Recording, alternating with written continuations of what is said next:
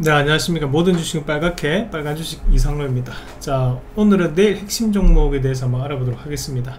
자 저희가 5월달 어, 한국경제TV 전체 통합해서 제가 베스트 파트너 1위를 기록을 했습니다. 다 여러분들 덕분이고요.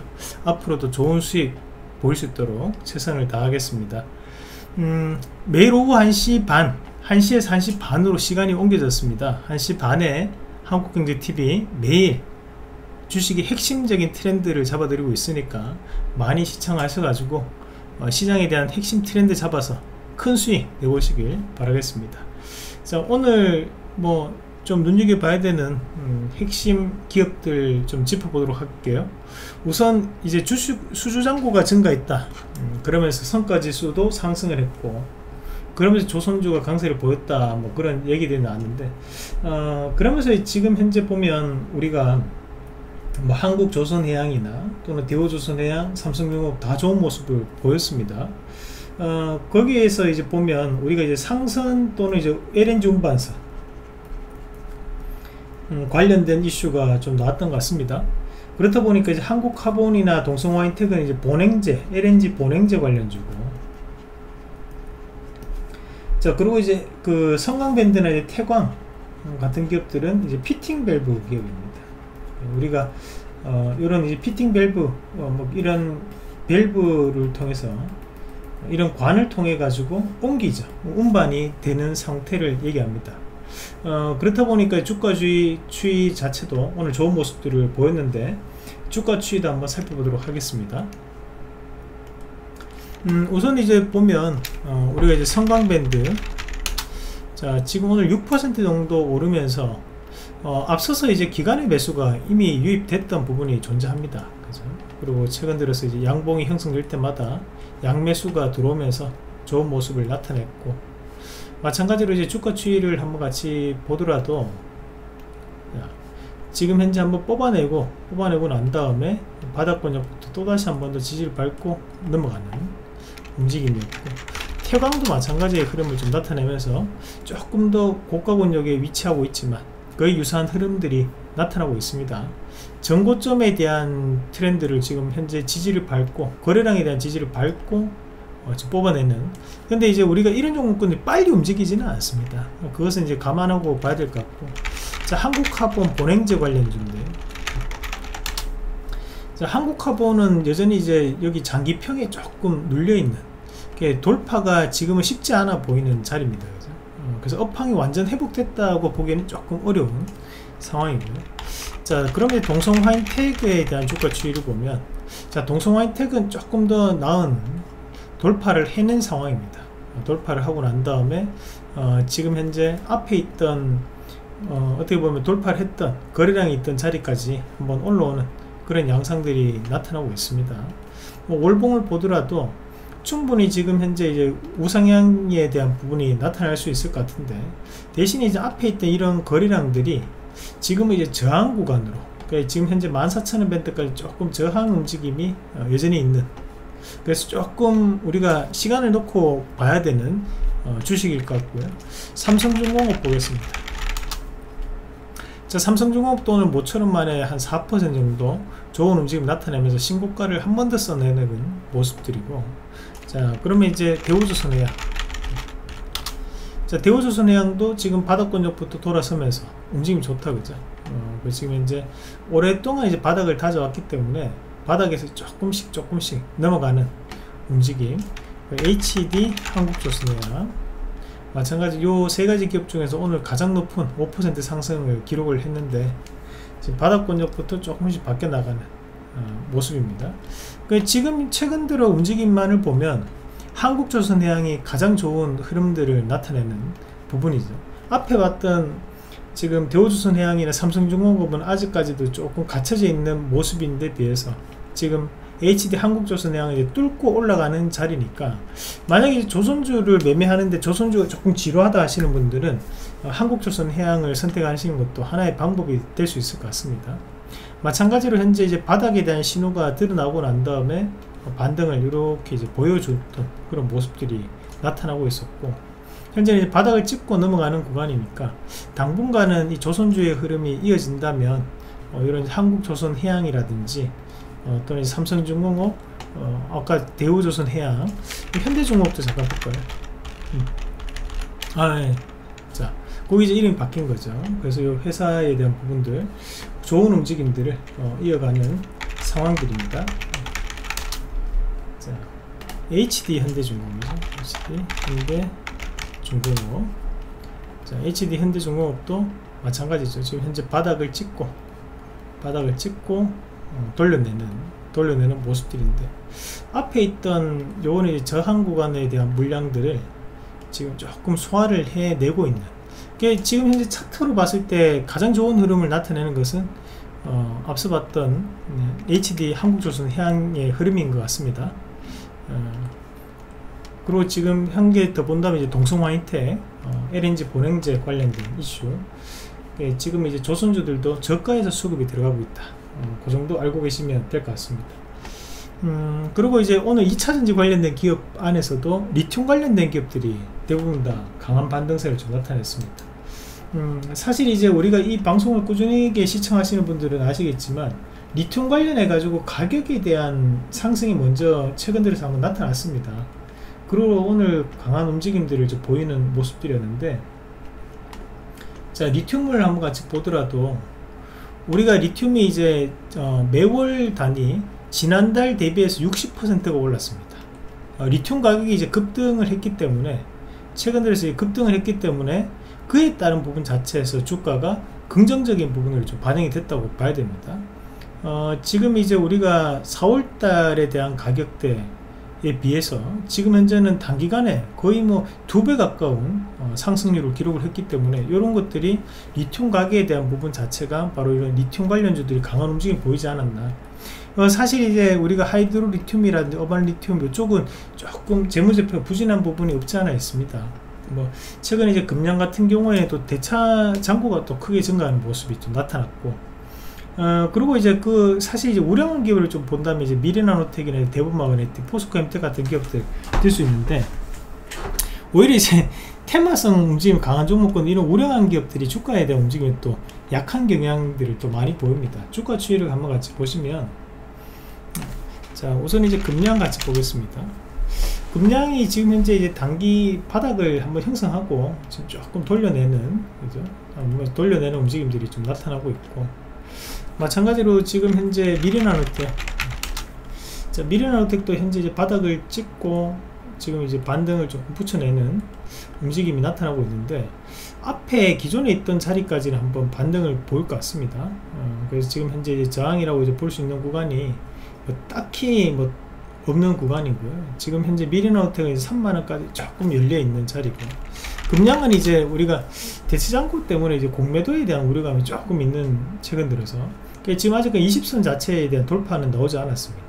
여전히 조금 저항에 대한 움직임이 강해 보이는 구간이고 오르면 그만큼 차익 매물이 조금 나올 것 같은 부분입니다.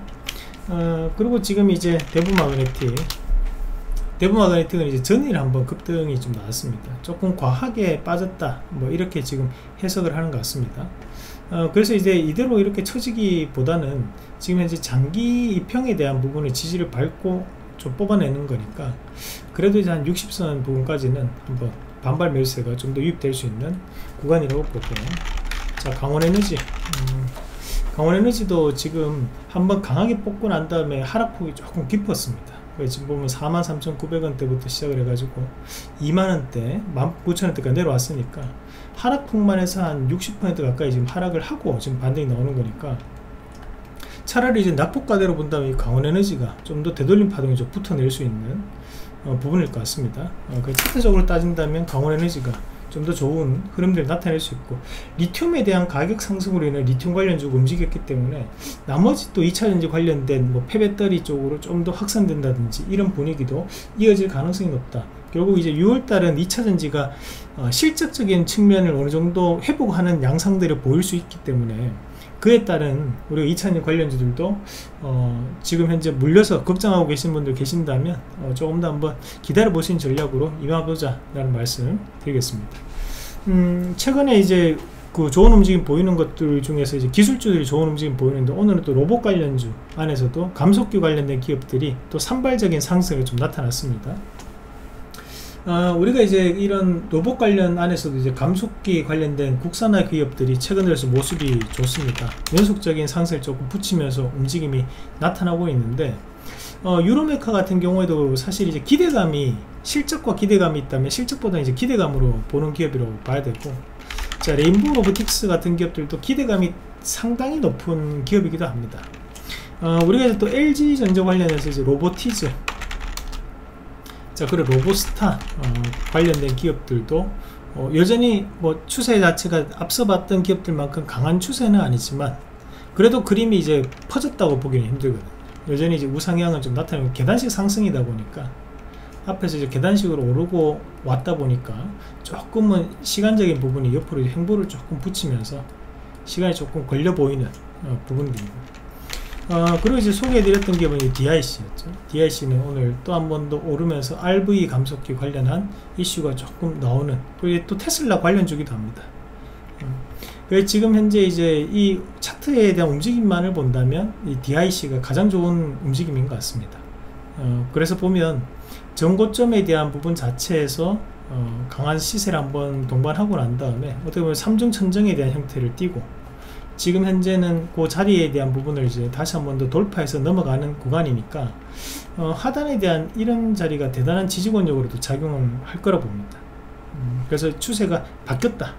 음, 그래서 2분기 실적에 대한 부분도 있고 또 자동차 부품 관련된 이슈도 어, 충분히 추가적인 모멘텀을 조금 붙을 수 있는 구간이라 보고 우리 이제 또 바닥 권역이 조금 바뀔 수 있는 기업들이 이제 해성 TPC 이런 것들이 밑에서 매집이 꽤 오랫동안 이어졌던 기업이라고 봅니다. 그래서 주가에 대한 움직임을 좀 기대할 수 있는 어, 우린 PTS 이런 것들 이제 한 번 뽑아냈을 거예요. 앞에서 이제 한 번 여기서 뽑고 다음에 한 번 더 다시 당겼다가 지금 바닥을 찍고 바닥 신호가 들어왔다 그죠? 그리고 지금 돌려내는 거니까 이런 것들이 이제 장기평을 돌파를 하면 그때 들어가도 늦지 않다. 이게 음, 은근히 저항이 조금 될 수 있습니다. 음. 그런 부분 참고하시길 바라겠습니다. 우리가 어, 보면 AI도 한 번씩 순환매가 좀 돌았고 그래서 로봇 관련도 순환매가 한 번씩 돌면서 어, 우리가 또 자동화 관련된 로봇 관련주들이 최근 들어서 많이 올라왔었거든요. 근데 또 감속기 쪽으로 조금 더 어, 이동을 하는 거 보면 이쪽도 이제 쉽게 꺼질 수 있는 흐름은 아닙니다. 음, 계속 6월달에도 이슈 안에 될 수 있다. 특히 이제 6월달 같은 경우에 이런 재료에 대한 부분을 조금 집중을 할 필요가 있습니다. 자 그리고 이제 재건 관련주가 오늘 강한 움직임을 좀 보였습니다. 저희가 이제 재건 관련주도 한번 특집으로 준비를 해서 말씀을 드렸었는데 어, 오늘 이제 재건 관련주 관련해서는 이제 주택을 직접적으로 지을 수 있는 어, 관련된 기업들이 많이 움직인 것 같습니다. 어, 뭐 라이온 캠텍이 오늘 또 20% 급등을 좀 보이면서 바닥권역에서 어, 지금 앞에서 이제 장기평을 돌파를 해내고 오히려 그 부분에 대한 지지를 밟고 한 번 더 뽑아내는 그런 양상들을 보이는 모습이었고 바닥에서 조금 빠르게 돌아서는 빠르게 돌아서는 양상을 보였고. 어, 그리고 이제 SY 음, SY 같은 경우에는 모듈러 주택이거든요. 그 차트에 대한 움직임은 거의 유사하게 나타납니다 지금. 그죠? 바닥에서 조금씩 돌아서면서 좀 더 추세적으로 좀 만들 수 있는 그림 자체는 대단히 좋아요 지금. 이게 지금 재건은 어, 보면 이제 우크라이나가 대반격을 시작했다라는 이슈였는데 어, 대신에 거기에 대한 내용들을 보면 전쟁 관련주가 움직여야 되는데 시장 자체는 이제 전쟁 이후에 그러면 이제 우크라이나도 공격을 했으니까 우크라이나도 이제 재건도 해야 될 거고 러시아도 재건도 해야 될 거고 그러니까 전쟁 이후에 재건 또는 이제 이런 것들이 곡물 관련주까지도 함께 움직임이 나오는 양상들입니다. 어, 그러면 지금 오늘 이제 대한제당이나 이런 이제 관련된 기업들이 한 7% 정도 오른 모습들 그리고 우리가 이제 사료 관련주들 뭐 과거에 사료 관련주들도 쉽게 꺾이지 않죠. 다시 또 시세가 여전히 붙어있는.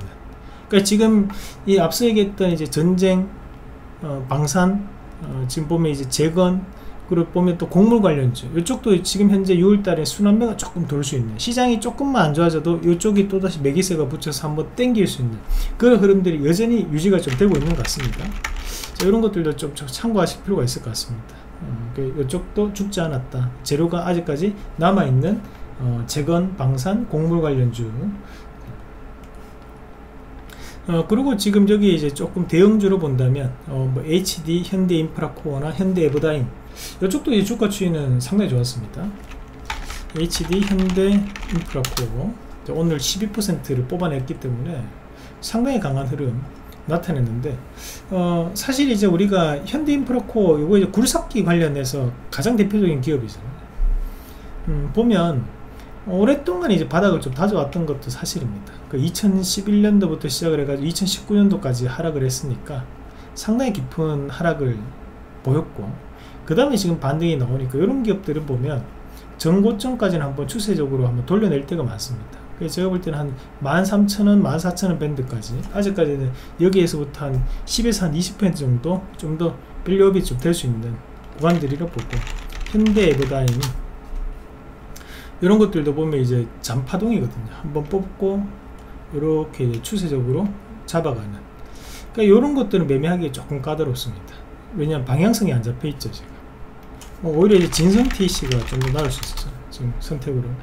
그죠? 왜냐하면 지금 현재 요거는 지지를 보고 땡길 수 있는 자리이기 때문에 그러면 이제 크게 조금 더 크게 놓고 보면 이제 정고점에 대한 부분 자체가 저항은 되어 있지만 음, 그리고 이런 것들이 한번 튀어서 가면 이 자리에서 한 40%에서 상방이 조금 열려 있는 단계죠. 음, 그런 부분으로 조금 재건 관련주는 크게 넓게 좀 보면 좋겠다. 어, 이게 단기 이슈로 끝날 것은 아닙니다. 음. 자, 그래 이런 이제 이슈들이 오늘 시장에서는 큰 이슈가 좀 나타났던 것 같습니다. 그리고 오늘 의류 관련주들도 낙폭과대 이후에 조금 돌아서는 모습들이었는데 실제 이제 우리가 강달러가 이제 끝나는 시점이 온다고 해도 어, 원화가 워낙 약세고 지금 현재 수입 물가가 높게 형성되어 있고 수출 물가는 더 이상 증가하지는 않습니다.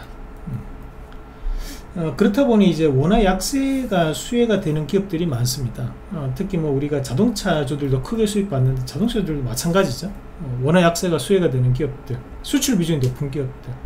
그러니까 이제 우리 관련주들을 좀 봐야 될 것 같습니다. 이제 우리 글로벌적인 부분에서 reopening에 대한 부분 진행이 되고 있고, 내수는 크게 움직임 자체는 없습니다. 그죠? 어, 최근에 이제 감성 코퍼레이션 이런 것들은 이제 무신사 관련된 기업이로 해서 뭐 젊은 층을 대상으로 조금 주가가 한번 최근 들어 신고가를 쭉 가고 있지만 나머지 이제 우리가 뭐 네이처 홀딩스라든지 뭐 휠라 홀딩스 이런 기업들이 최근에 큰 움직임 자체를 보이지는 못하는 그 낙폭과대에 대한 부분에서 저가 매수만 일부 유입되는 정도 수준인 것 같은데 대신에 이제 우리가 OEM, ODM 기업들은 조금 흐름이 다릅니다.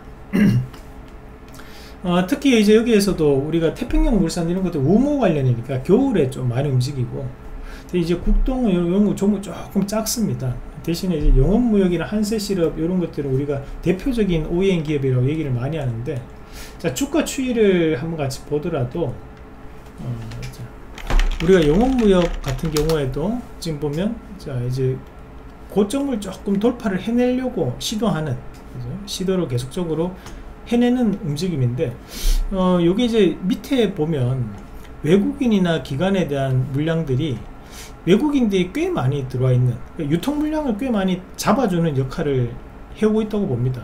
지금 총 주식 수가 4,400만 주인데 그게 외국인들이 약 1,300만 주를 보유하고 있으니까 비중이 꽤 높습니다. 자, 그리고 이제 한세 MK, 한세 시럽 같은 경우에도 같이 한번 보면